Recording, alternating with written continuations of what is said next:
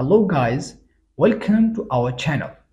Today in this short tutorial, I will show you how to stop Google Chrome from opening new tabs. It's pretty simple.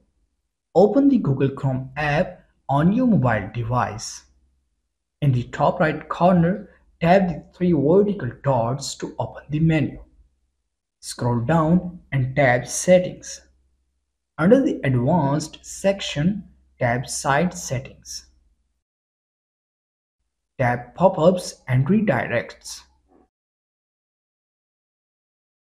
Toggle off the switch next to pop-ups and redirects to block websites from opening new tabs.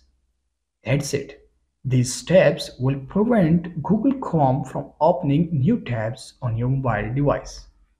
Surely this video helped you a lot.